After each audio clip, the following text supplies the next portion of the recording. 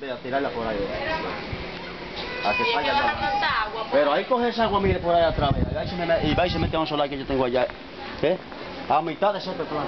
Ahí por acá. Porque aquí, no llueve.